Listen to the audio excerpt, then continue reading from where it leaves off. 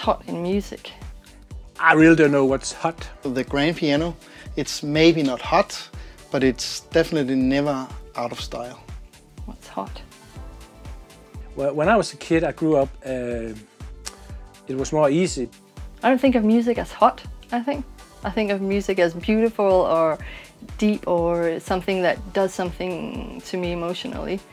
Today you have a very, uh, how to say, uh, wide variety of styles and music and culture. So uh, definitely one thing that's hot these days is the weather.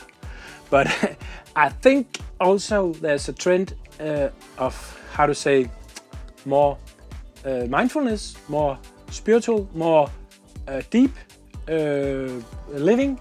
Easy, uh, no, not easy living, but there's a trend, and what is hot, I think, is that you don't go that fast from each subject all the time, but you get more into, deeper into stuff. That that's hot, and it's going to be more hot, I think.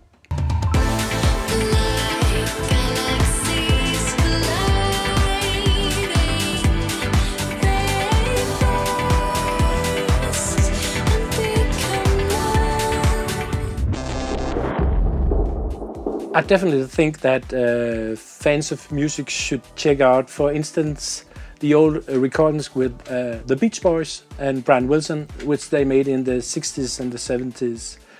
These, these recordings are treasures uh, regarding to experimental music and to vocals and, and the producing.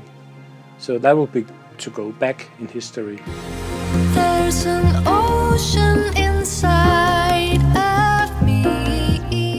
Inside definitely think they should check out Tribox music.